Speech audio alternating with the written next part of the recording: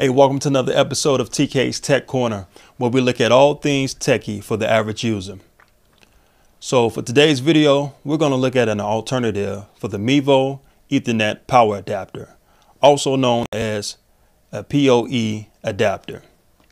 For those of us that have looked into the Mevo branded adapter, you know that this adapter is pretty expensive and sometimes is hard to find. There are third-party alternatives but a lot of these lack the full functionality that the Mevo branded adapter has. Or you have to use multiple adapters to, to achieve full functionality.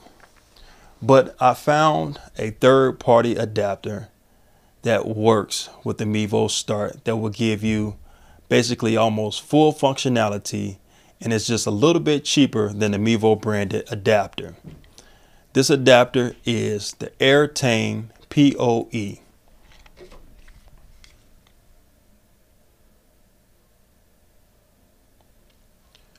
What this adapter will do for you is that it'll give you a hardwired connection and also power delivery to your Mevo Start. It basically has all the functionalities as the Mevo branded adapter, except for one little caveat, and that that, that this um, adapter doesn't have USB-C in or out. But what this adapter has is that it has an Ethernet port on one end. See if we can get that to focus. And on the opposite end, you have a USB 3.0 jack. Now, with this particular switch, with well, with this particular adapter, you have to have a switch that has PoE, power over Ethernet. This adapter will not work with a switch that doesn't have power over Ethernet. So let's just take a look at how I have this uh, PoE adapter hooked um, into this network.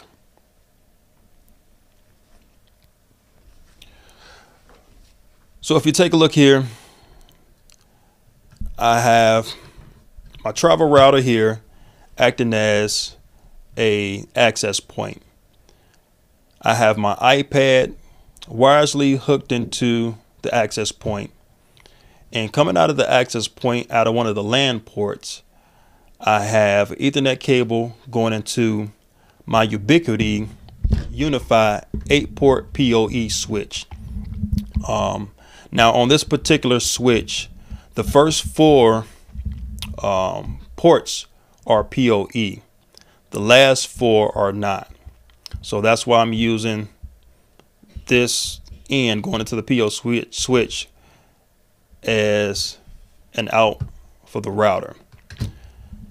And here on the first port, I have an Ethernet cable, and that is attached to the Airtame PoE adapter. And coming out of the USB port, I have a regular USB A to USB C connector and that is going into the Mevo.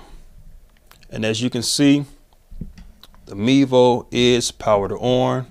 On the Airtame adapter is also powered on. So let's look at this in the Mevo app. So we take a look at the screen here, you can see here on the Mevo um, single cam app that shows my Mevo here and it also shows at the bottom of the Mevo an Ethernet direct link. That Ethernet direct link is the Airtame PoE connection. So what I'm going to do is I'm going to click right here on um, Connect Mevo. It may take a little minute. All right.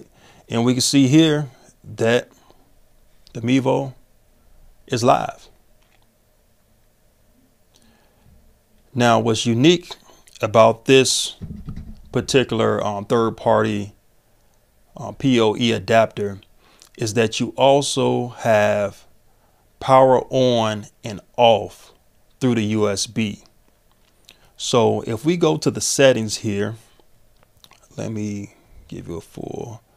All right, so if we go to the settings here for the Mevo and we scroll down to Mevo settings, if we click there, you have the ability to have power on and off with USB cable. With this particular adapter, you have that capability. So what happens is anytime the power is turned off from my PoE switch, it also would turn the Mevo off. Same thing if the um, Ethernet switch is turned on, then the Mevo also will turn on. So let's do a quick demonstration of that.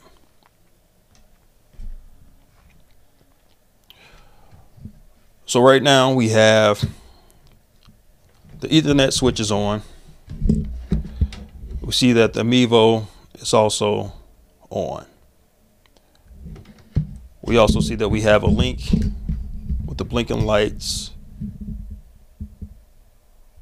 with a PoE adapter. So what I'm going to do here is I'm going to disconnect the power from the switch. And if we just take a listen and look at the light, the Mevo should shut down.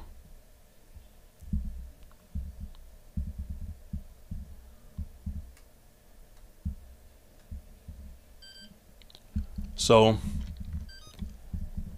we see that the Mevo just shut down. So what I'm gonna do now is I'm gonna plug the power switch power plug back into the switch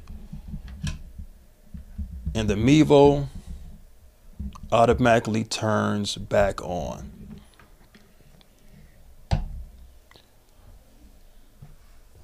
So with that, if you have your Mevo in a place where you can't get to all the time to be able to turn it on, turn it off, to be able to, um, you know, take it down to um, get power to it.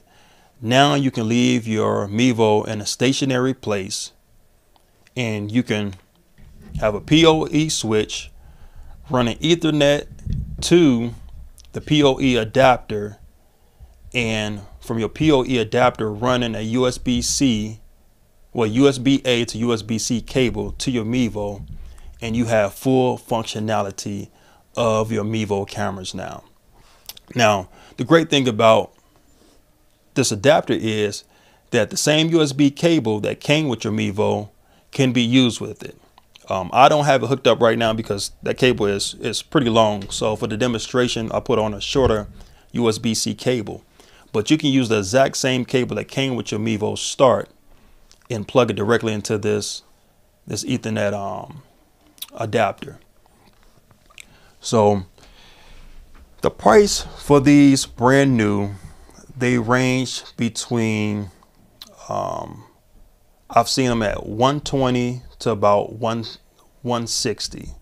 So at the higher range, they're about the same price as a Mevo adapter.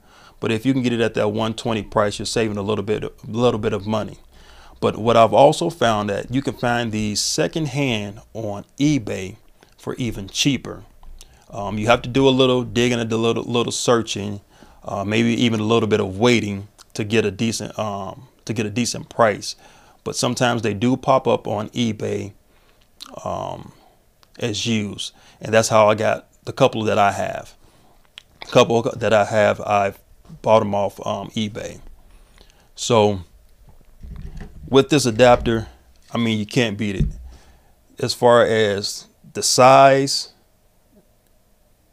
um, that it is, it's fairly small and really slick compared to any of the other third party um, adapters that I've seen and using multiple adapters just to try to get the Ethernet, the data part, and also the power delivery. Um, it can become a, a mess. So I say, if you don't want to buy the Mevo branded adapter and you want to save a little bit of money, go out and see if you can find one of these Airtame PoE adapters and you should have full functionality um, just as you would with the Mevo adapter um, besides being able to power this adapter through USB-C. That is the only difference from this adapter and the Mevo adapter. The Mevo adapter, if you don't have a PoE switch, you still can power that adapter through a USB plug. But with this one, you cannot. You have to have a PoE switch. But if you have a PoE switch, you're all set. So that's it for this video. Until next time, I'll see you guys later.